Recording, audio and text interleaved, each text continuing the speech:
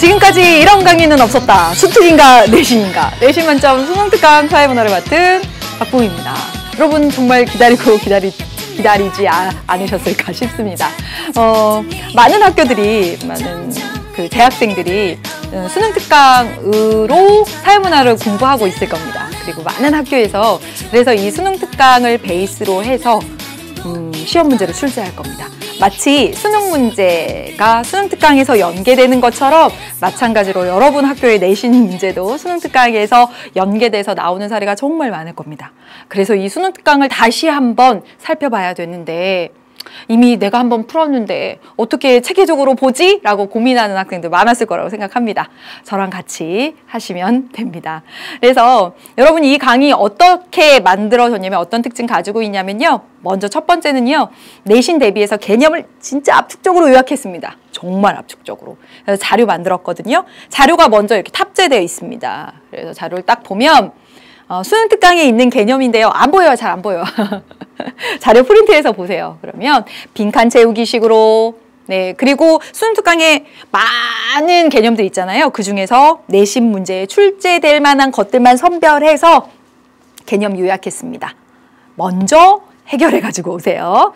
두 번째 수특 문제 다시 보기. 그래서 수특 다시 봄이라고 제가 제목을 붙였습니다. 수능 특강 문제 여러 문제 있잖아요. 그 문제들 가운데서 선별해서 아마 학교 시험 문제로 나올 겁니다. 학교 시험 문제로 나올 만한 그리고 학교 시험을 대비할 수 있는 문제들을 제가 뽑아서 역시나 변형했습니다. 어떻게 변형했냐면 잘 안 보이죠? 수특 문제입니다. 수특 문제, 수특 다시 봄 하고 되어 있어요. 밑에 보시면 가로 넣기 형태 내지는 OX 형태로 바꾸어 두었습니다.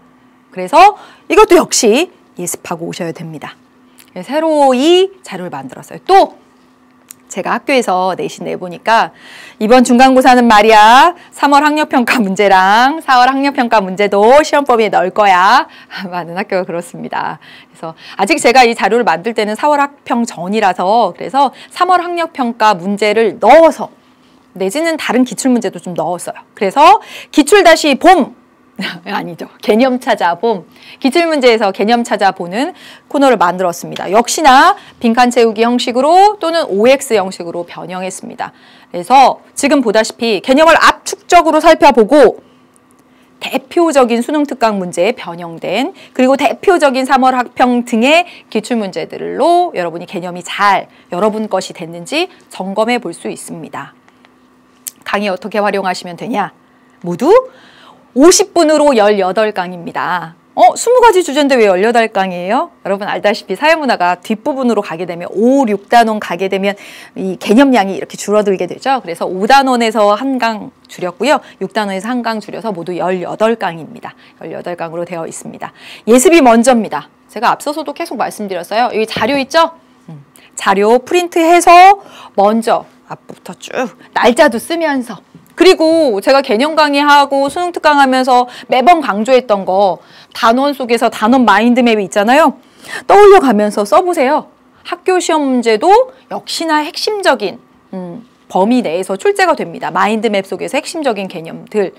학교 시험 범위가 아마 좀 상당히 중, 어, 고등학교 2학년 때 비해서는 길 거예요. 그래서 여러분이 마인드맵 속에서 찾아낸 그 핵심 개념이 시험 문제로 출제될 겁니다. 그래서 예습 먼저 해가지고 오시길 바라겠습니다. 자료실에 올려져 있는 예습 해서 오시면 저랑 함께 앞에부터 차근차근 점검해 나가다 보면 수특도, 아니 수능도, 내신도 만점까지 되지 않을까 싶습니다. 확신합니다, 여러분. 저 1강에서 여러분 기다리고 있겠습니다. 어여 1강으로 오세요. 어여.